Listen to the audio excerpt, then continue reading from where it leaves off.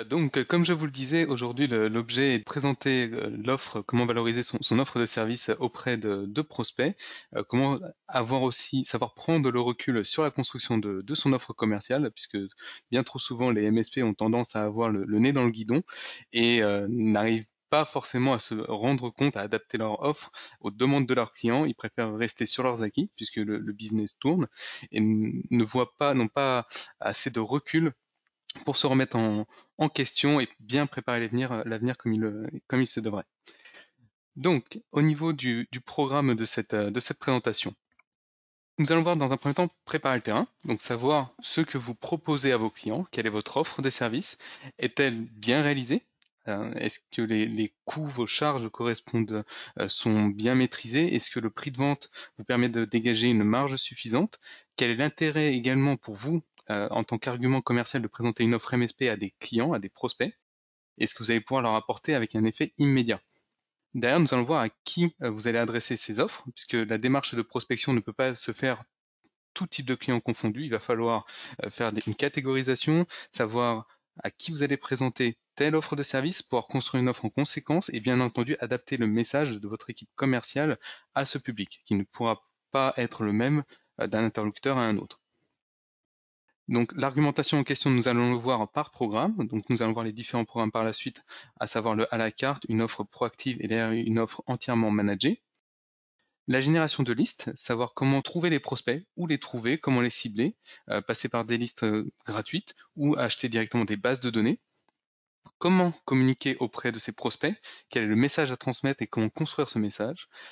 Quelques exemples de méthodes qui ont fait leurs preuves, Certaines sont très classiques, d'autres demandent un investissement euh, de votre côté en termes de marketing, mais ont fait leur preuve également. Et enfin, un petit résumé de tout ça et les derniers conseils prodigués sur la, mise en avant de votre offre de démarche commerciale. Donc dans un premier temps, nous allons nous intéresser à votre offre de service. Que vendez-vous à des prospects actuellement? Il y a plusieurs typologie de MSP. Vous allez avoir le premier mode qui est le mode réactif ou en anglais break and fix. Ce n'est pas à proprement parler un MSP puisqu'il est vraiment dans la réaction. Il y a un problème qui, apparaît chez un client. Ce client sollicite son revendeur informatique qui va à ce moment-là soit faire une prise de main à distance, soit aller sur site pour résoudre ce problème.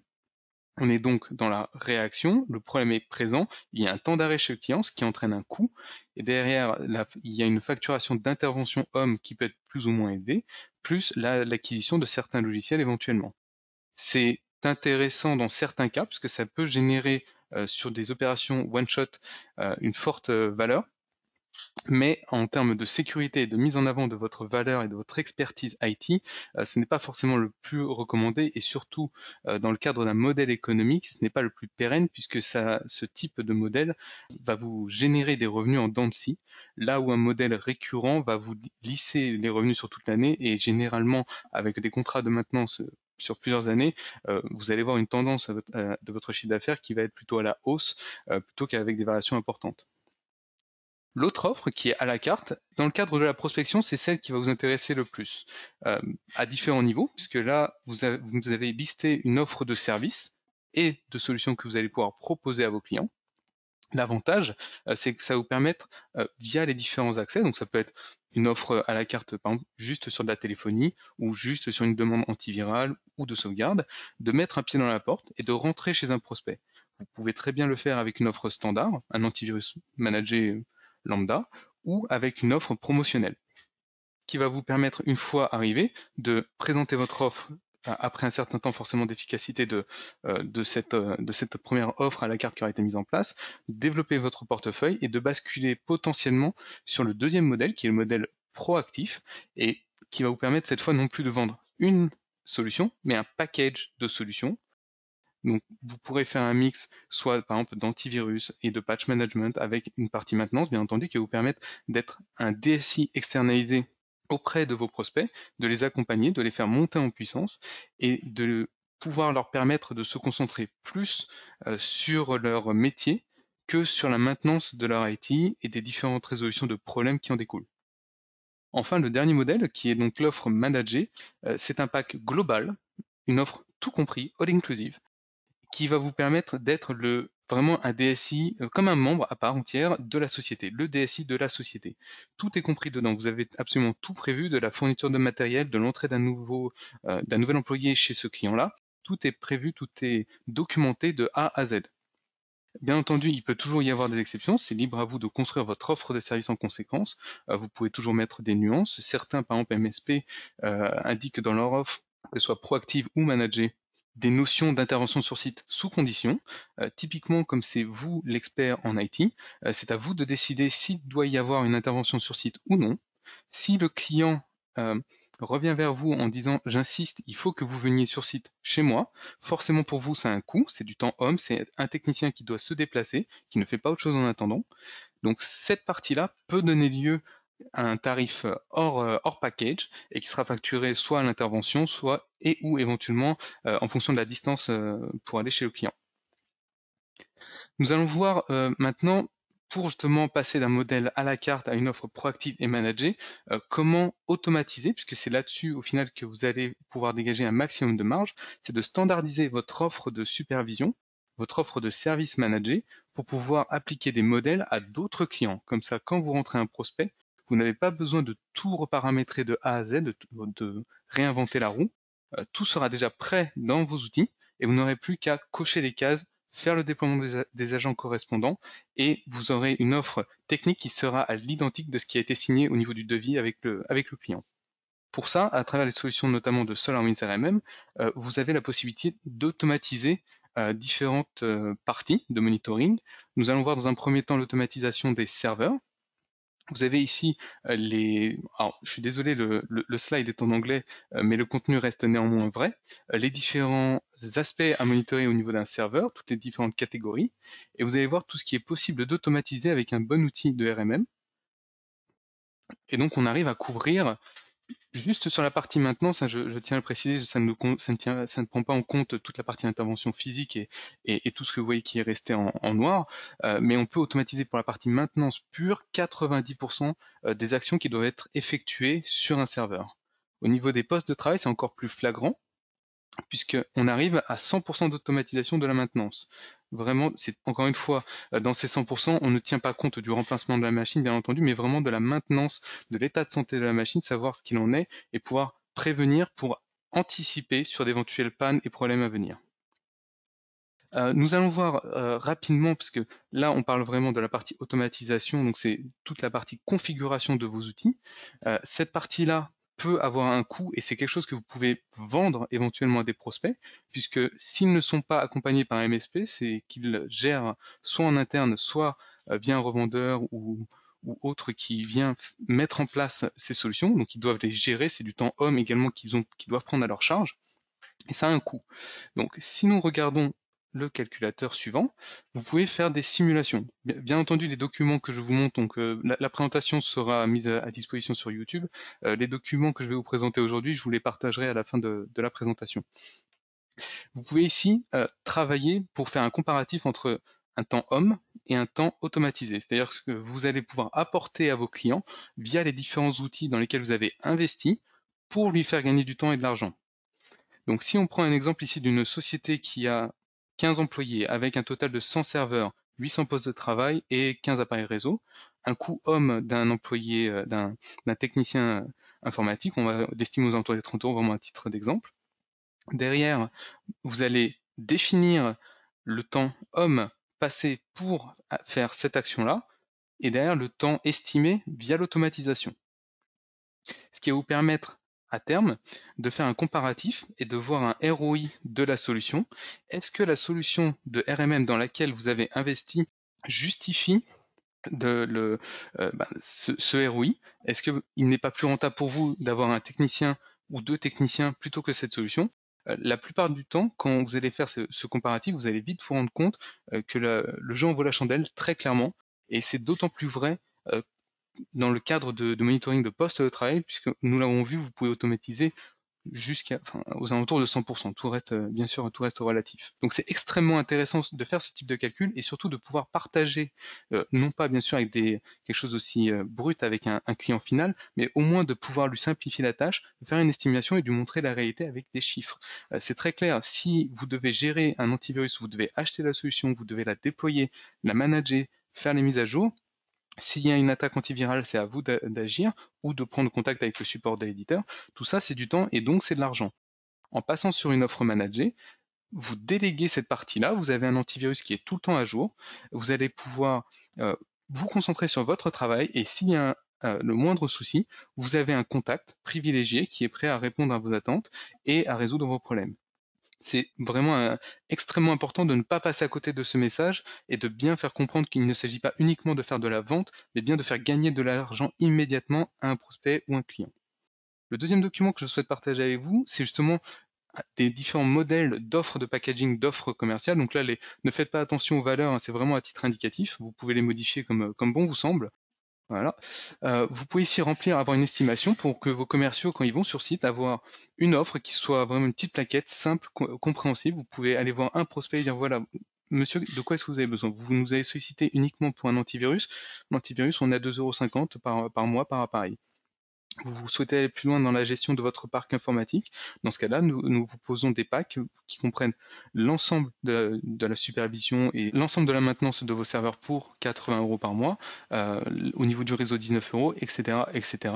Et dans la gestion totale, on va aller beaucoup plus loin dans la supervision, dans la maintenance et dans la, dans la continuité d'activité euh, du client, euh, ce qui va forcément euh, entraîner des coûts supplémentaires au niveau du forfait, mais qui mis un temps homme si le client devait le faire euh, serait nettement plus intéressant pour lui.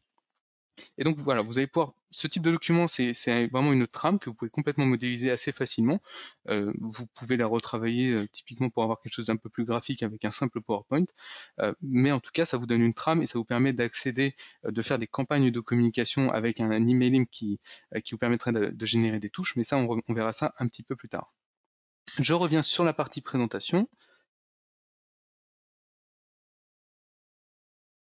Donc, nous avons vu ce que vous proposez, donc votre offre de service.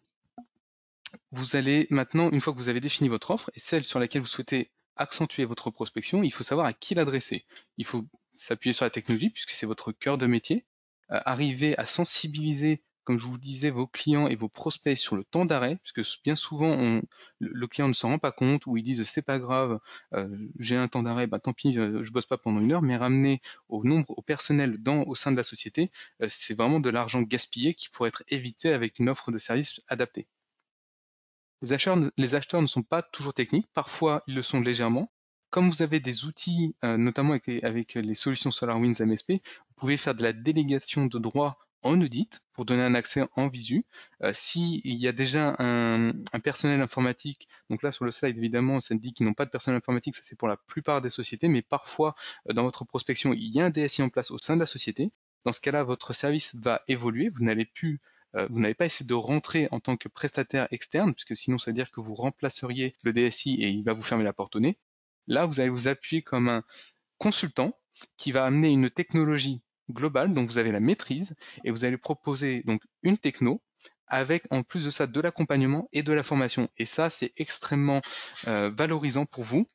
Ça va vous permettre de débloquer des opportunités et vous allez voir qu'en termes de volume, ça peut être extrêmement intéressant puisque généralement, une société qui a un DSI a forcément un parc beaucoup plus important euh, qu'une petite société qui n'en a pas. Ça, c'est mathématique. Enfin, le, dernier point, euh, c'est en tant qu'expert IT, c'est de votre devoir également de faire comprendre à l'utilisateur la valeur et le coût euh, de l'informatique. Ce n'est pas uniquement l'achat matériel, mais ça peut être également la valeur des données qui sont sur les machines. Se dire qu'on est, euh, qu'il peut y avoir une attaque, très bien. Ça, je pense qu'au niveau de la communication de ces dernières années, le message a été assez rabattu. Mais les gens n'ont pas forcément conscience de cette valeur. Si, par exemple, vous allez chez, un de vos clients qui n'a pas encore conscience de ça, vous pouvez très bien prendre le cas d'une attaque et simuler l'arrêt d'un serveur. Qu'est-ce qui se passe dans ce, dans ce cas-là? Combien de temps va durer le, temps d'arrêt et quid euh, si jamais il n'y avait pas ce contrat de maintenance et l'éventuelle sauvegarde que vous managez à côté de la récupération des données? Comment est-ce que la société pourrait se relever? C'est extrêmement compliqué. Le message forcément va, va, devoir, va dépendre de la mentalité des prospects. Si, euh, quand vous abordez, euh, quand vous commencez le discours avec votre, votre prospect, il vous dit qu'il n'est pas prêt à investir dans l'IT, vous savez que c'est un modèle break fix, il n'est pas prêt à avoir un partenaire, il veut lui avoir la maîtrise de A à Z, il vous sollicitera quand lui l'aura décidé. C'est un choix, forcément de votre côté ce n'est pas un revenu qui va être prévisible, ça va être du réactif à 100%, et en termes de projection sur euh, et, d'objectifs sur l'année, c'est pas ce qu'il y a de plus intéressant. Là où ça va devenir un peu plus intéressant et où il va y avoir un vrai travail commercial à faire, ça va être dans le deuxième, troisième et quatrième cas, puisque le, prospect sait que l'IT a une place euh, dans son entreprise non négligeable, mais il est réticent et la notion de prix euh, pèse quand même beaucoup pour lui. Dans ce cas-là, il va être intéressant de rentrer avec une offre à la carte sur un sujet qui lui tient à cœur, qui est important, qui est d'actualité. Euh, ça peut être suite à une, attaque, de, crypto, mettre en place un antivirus adapté, euh, mettre en place une solution de sauvegarde lui permettant de repartir le plus rapidement possible en cas d'attaque ou en cas de crash global, voire des petits packages. Ça peut être juste une, demande d'assistance euh, utilisateur, prise de main à distance une fois par mois, ce genre de choses. C'est vous qui allez définir le contenu de votre offre. Le deuxième, il sait que l'IT est présent, il a juste besoin du minimum syndical en termes euh, de disponibilité de son réseau et de ses machines. Là, vous allez rentrer avec une offre packagée. Il vous, délègue la gestion des postes de travail, la gestion de ses serveurs, des deux. Euh, il peut vous déléguer un, un ensemble plus ou moins défini, donc ce sera à vous de le qualifier avec lui. Et la dernière offre, c'est si jamais le client a déjà eu affaire à un MSP ou un revendeur ou avec des DSI en place et qui souhaite justement externaliser euh, cette partie-là, vous allez rentrer dans une offre managée où là vous allez avoir une offre globale, tout compris, euh, et il va être rassuré, il, il va pouvoir le budgéter, savoir exactement quel va être le coût sur l'année. Pour vous, c'est assez euh, facilement prévisible et vous allez pouvoir faire des devis simples puisque c'est un pack et que vous avez déjà tout configuré dans vos différentes solutions le, message va se faire assez simplement. À, la limite, le dernier cas est vraiment le plus simple, en termes en tout cas de démarche commerciale, euh, puisqu'il sait déjà ce dont il a besoin, il sait qu'il justement il ne veut pas s'occuper de l'IT et il va vous le déléguer de euh, vraiment de bonne grâce. Euh, le dernier point qui restera à valider, bien entendu, sera la notion de tarif, mais là tout dépendra bien entendu de ce que vous mettez dans votre offre et bah, de la localisation, puisque les tarifs varient d'une région à une autre dans la démarche de vente, il va falloir du coup adresser et comprendre vraiment les besoins euh, de, vos clients. Euh, nous, allons nous, avons distingué donc deux typologies de, prospects. Le premier groupe, le réseau est essentiel à la mission, c'est-à-dire que l'organisation des services doit être professionnelle. Euh, ils comprennent bien l'importance de l'IT et donc là, on va passer sur un modèle, sur une offre directement qui va être plutôt proactive ou managée. Si d'entrée de jeu, la discussion part au niveau du prix, et non pas sur le besoin, sur la haute dispo ou euh, ce, genre de choses, euh, on sait qu'on va se retrouver face à une typologie plutôt break fix ou à la carte. Il est donc extrêmement important, en fonction de la communication que vous allez mettre en place et du discours que vous allez avoir face à votre prospect, d'avoir la bonne solution, le bon discours pour adresser le bon client.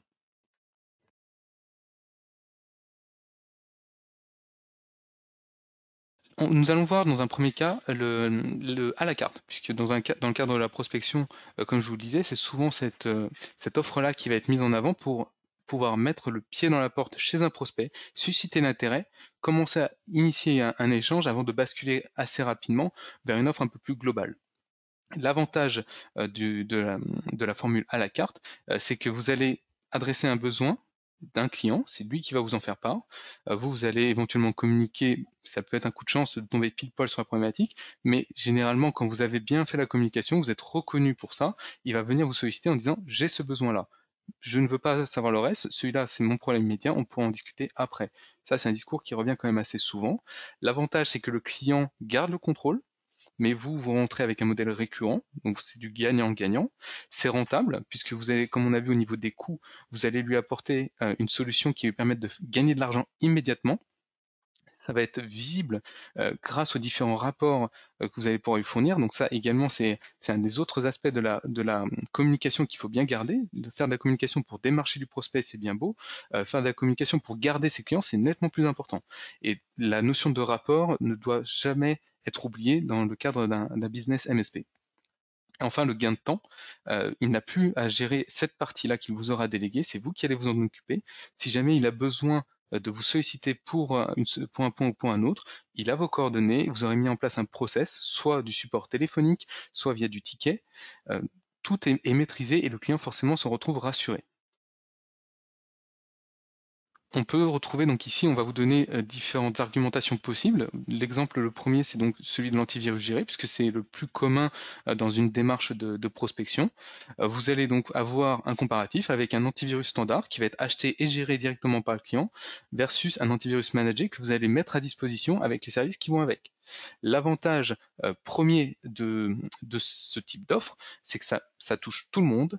c'est entièrement géré par des experts, donc chacun son cœur de métier vous c'est l'IT, votre client c'est son métier, peu importe le domaine, euh, vous allez réduire les coûts immédiatement, vous allez permettre à ces clients, à ces utilisateurs euh, d'être plus rassurés, de savoir qu'il y a un expert derrière eux qui est prêt à les, épauler si besoin est.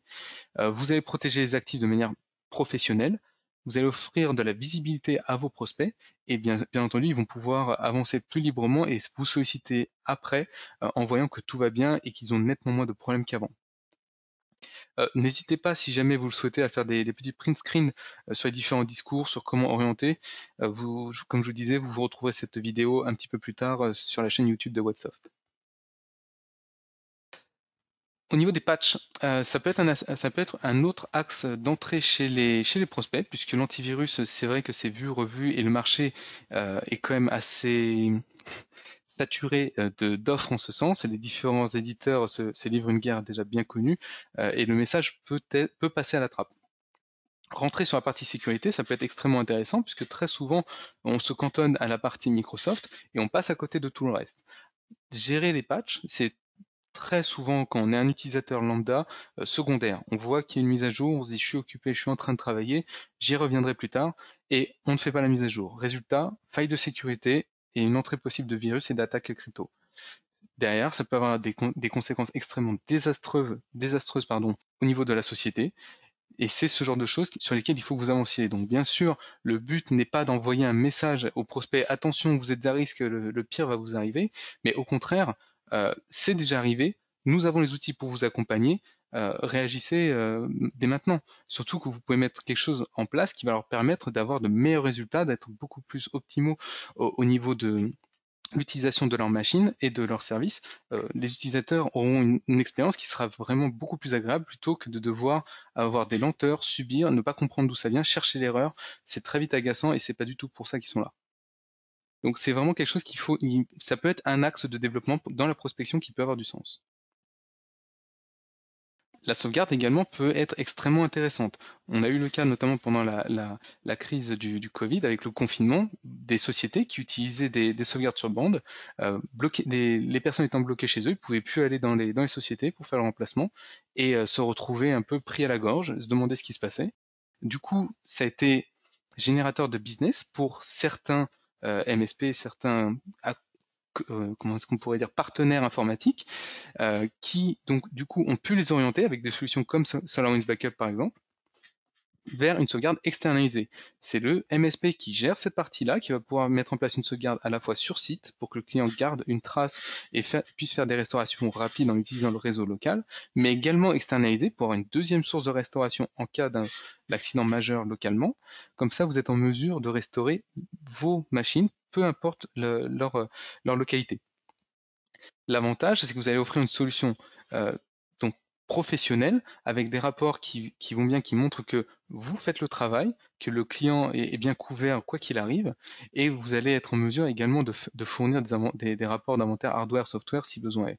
On ne se rend pas forcément compte au niveau du, client final, on se dit bon j'ai fait ma sauvegarde, c'est bon, tout va bien, mais tant que, tant que la crise n'est pas arrivée.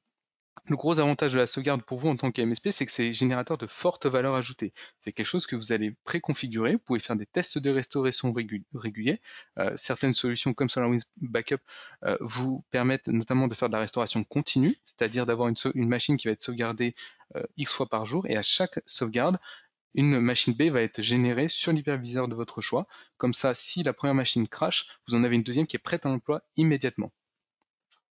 Ensuite, au niveau de la modélisation de votre offre commerciale, vous pouvez bien entendu créer différentes nuances. Vous pouvez faire une offre prix d'appel avec un backup uniquement de certains fichiers de type bureautique, monter en gamme avec une sauvegarde euh, d'une image complète de, la machine, et enfin une, offre VIP avec du PRA, de l'archivage des sauvegardes et une rétention sur plusieurs mois. Vous allez pouvoir avancer ensuite, si vous le souhaitez, sur une offre qui va être à mi-chemin entre le à la carte et euh, l'offre euh, l'offre packagée, euh, en, par exemple en couplant une maintenance classique avec un antivirus géré et la gestion des patchs. Vous allez couvrir ainsi un pack sécurité auprès de vos prospects, les adresser, commencer à répondre à leurs différentes attentes et mettre euh, rentrer dans la société avant de commencer à gérer l'ensemble de leur parc, déployer ensuite le, reste de vos services, de la partie impression jusqu'à la téléphonie, pourquoi pas, et devenir le, vrai, le, réel partenaire du quotidien au niveau IT de vos clients. et donc monter en, gamme progressivement. Vous pouvez très bien être rentré uniquement avec la partie antivirus, avoir déployé la partie patch géré dans la foulée et compléter pour avoir ceinture et bretelles avec la partie sauvegarde gérée. Comme ça, vous avez absolument toute la couverture de A à Z euh, du parc informatique de vos clients, en tout cas en ce qui concerne la sécurité. Et comme on n'est jamais trop prudent et que le risque zéro n'existe pas, vous avez mis en place une sauvegarde gérée qui permet en cas de crash ou en cas d'attaque vraiment à T0 de pouvoir remettre en état et en production votre client il peut être intéressant, là on était vraiment sur une offre à la carte, d'avoir un discours sur l'offre multicouche, qui va être une base euh, pour euh, une base de une base commerciale et euh, technique pour aborder l'offre proactive et l'offre donc packagée. Puisque mettre en place une solution d'antivirus ne va pas garantir la sécurité de votre client de A à Z, il faut qu'il y ait plusieurs éléments pour couvrir vraiment tous les aspects de la sécurité. Et donc c'est cette offre-là que vous allez pouvoir montrer au client, échanger avec lui pour lui montrer que vous avez les outils, vous en avez la maîtrise, et des, certains aspects dont il n'avait peut-être pas conscience peuvent faire mouche et déclencher du business. C'est vraiment important euh, de, savoir communiquer sur ces aspects-là, de montrer votre expertise, ne pas hésiter d'ailleurs euh, dans, le cadre de votre prospection, de montrer les différentes solutions pour montrer que vous utilisez des outils professionnels, que c'est pas juste euh, des faits de avec des petits outils et, de la bricole. Là, c'est vraiment c'est professionnel, c'est votre cœur de métier. Il n'a peut-être pas l'habitude de voir ça et ça peut être extrêmement rassurant. Sur l'offre proactive, vous allez entrer donc avec un pack, vous allez arriver avec une offre clé en main. Euh, certains aspects ne vont pas être abordés, euh, puisque le client voudra par exemple, peut-être il a, un partenaire sur la partie euh, téléphonie ou, impression, avec qui il a, il a, déjà un contrat en place. il va vous déléguer le reste, mais sur cette partie-là, vous ne rentrerez pas, donc on ne peut pas encore parler d'offre 100% managée, mais vous allez au moins rentrer avec une offre IT sécurité qui aura du sens et qui va lui offrir de la visibilité. Derrière, il faudra voir donc qu'est-ce qui rentre dans votre offre? Est-ce que les interventions sur site, le remplacement matériel sont comprises dans l'offre que vous allez mettre en place, dans la valorisation et le prix par machine? Euh, Est-ce que la gestion est comprise, la gestion des, projets est comprise ou non? Le résultat immédiat que ça va générer chez un prospect qui n'avait pas ce type de programme en place, ça va être de la productivité, ça va être du gain de temps, ça va être de la visibilité et surtout pouvoir se focus, encore une fois, c'est extrêmement important, sur son cœur de métier. L'offre entièrement managée, euh, c'est donc là c'est vraiment une offre globale de A à Z. Le gros avantage et le cœur en fait de cette offre, c'est de dire que c'est vous l'expert IT. Pour mettre en place ce type d'offre, vous devez mettre en place des outils dont vous avez la maîtrise. Vous, ne pouvez pas vous appuyer euh, sur des technologies que vous ne maîtrisez pas. Et comme vous devenez le garant de l'IT de vos clients, ça va être à vous de euh, comment dire maîtriser vraiment son IT de A à Z. Donc vous pouvez pas faire de compromis euh, en disant par exemple, bah la, sauvegarde, je la laisse à un autre prestataire c'est à vous d'en avoir la maîtrise pour pouvoir garantir à 100% la sécurité et l'IT de, vos prospects. Donc c'est vraiment l'offre la plus en comment dire la plus rassurante.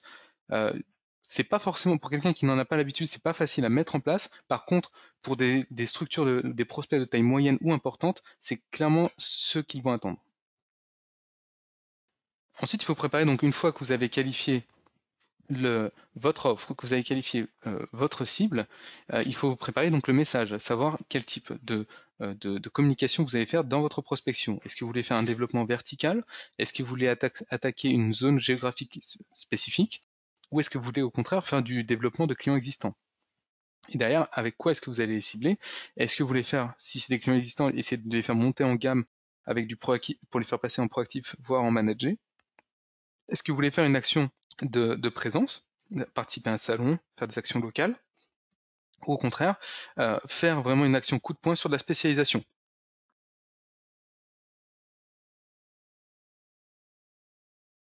Euh, la, la, création des listes de contacts. Il y a plusieurs possibilités. Soit vous pouvez le faire de manière manuelle, passer par les, classiques, les pages jaunes, LinkedIn, Facebook, euh, chambre de commerce. Enfin, il y a énormément de sources possibles et imaginables.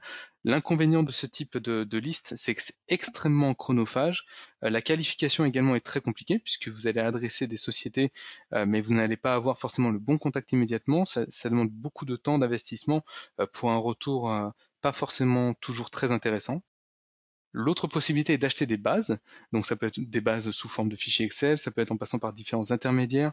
Euh, c'est vrai que c'est onéreux, ça peut être onéreux, euh, mais au moins vous avez quelque chose qui va être ciblé, qui va correspondre exactement à la démarche commerciale et de prospection que vous souhaitez mettre en place. Dans un cas comme dans l'autre, vous aurez donc besoin de faire un tri, de qualifier et d'ailleurs de pouvoir mettre en place ces actions, surtout en maintenant euh, une traçabilité. Ce qui va être extrêmement important, c'est de savoir sur telle action combien de prospects ont été adressés et combien de, clients ont été gagnés. Dans la communication, il faut bien entendu ne pas se limiter à une seule méthode. Faire uniquement du mailing et attendre le retour, ça n'aurait pas vraiment de sens. Il faut coupler ça avec différentes démarches un des plus classiques, c'est de faire une campagne d'emailing et de coupler ça dans la foulée avec euh, du démarchage téléphonique justement auprès de cette base pour s'assurer qu'ils ont bien reçu l'email et pouvoir euh, du coup les, adresser en, temps et en heure avec le, bon retour, voir si ce message a été bien perçu et si ça permet de générer un, business éventuel. Les médias sociaux également sont et de plus en plus utilisés avec des petites démos, euh, des petits tutos pour montrer voilà des, des petits trucs et astuces de l'expert pour les clients finaux. C'est pas parce que les clients euh, ne, connaissent pas l'IT qu'ils ne s'y intéressent pas.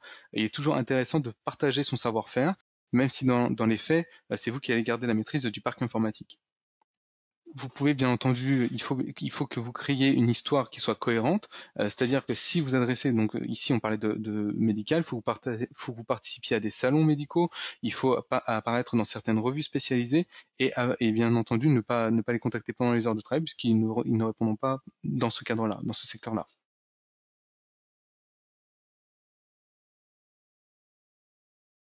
Les méthodes utilisées avec succès, donc comme, d'habitude, vous pouvez soit vous être force de proposition, vous pouvez proposer une approche, par exemple sur l'archivage des emails, sur la sauvegarde, sur l'antivirus.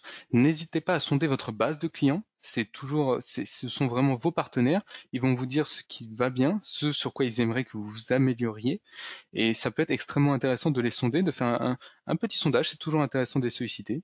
Euh, vous restez l'expert, mais néanmoins vous gardez une oreille attentive à vos clients proposer justement une activité de conseil, mener des audits gratuits sur, auprès de votre parc de prospects. Vous avez la possibilité avec les outils comme SolarWinds RMM de déployer des agents en inventaire seul. Vous êtes en mesure de remonter toute la partie hardware, software d'un client et derrière d'être force de proposition. Utilisez également pendant, avec des campagnes marketing de la génération de leads. Vous allez être mieux référencé, votre site va apparaître en top des recherches et quand les utilisateurs finaux auront un besoin, c'est sur votre site ou sur vos communications qu'ils vont atterrir. Et enfin, bien entendu, le, grand classique, on, y revient toujours, mais c'est le démarchage téléphonique. Euh, c'est ce qui, euh, c'est ce qui fonctionne le mieux et ce qui a le plus d'impact. N'hésitez pas en tout cas à innover. Si jamais vous avez d'autres solutions, euh, il faut vraiment pas être frileux, ne pas avoir froid aux yeux et, y aller. C'est toujours agréable d'être d'être surpris là-dessus.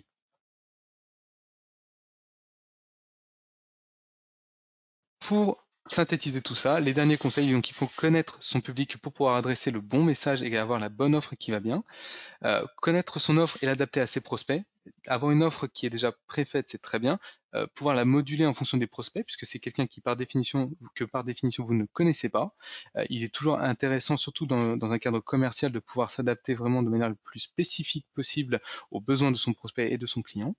Décider une stratégie, vous pouvez très bien rentrer avec une offre promotionnelle valable un certain temps et avec à, terme une évolution vers une offre packagée, ou rester uniquement sur un, un modèle à la carte pour cette typologie de client que vous aurez préqualifié. Préparer les listes de, prospection, euh, ça demande un vrai travail de qualification et qui va être extrêmement long, chronophage si vous partez sur des listes gratuites, qui peut être onéreuse si vous partez sur des listes, sur des, bases que vous allez acheter. La génération de leads doit être tracée, euh, c'est euh, extrêmement important. Euh, vous allez donc pouvoir mesurer l'activité de votre équipe commerciale, voir le ROI et voir quelle typologie de clients vous avez réussi à adresser. typiquement, si vous, allez mettre en place une offre et vous pensez adresser des moyens, des, secteurs de, des typologies de clients moyens ou larges, et qu'au final vous voyez que vous n'avez rentré que des petits clients, c'est qu'il y a eu un problème quelque part. Ça peut être intéressant de les sonder a posteriori pour savoir ce qui a fait mouche chez ces petits clients ou au contraire aller voir ces moyens et gros clients euh, pour leur dire pourquoi est-ce qu'ils n'ont pas validé cette offre. Est-ce que c'est une question de positionnement de prix C'est une question de message qui n'a pas été compris ou juste même de message qui n'a pas été reçu du tout. Voilà, bah écoutez, j'espère que cette, euh, cette présentation vous a plu. Si vous avez des questions...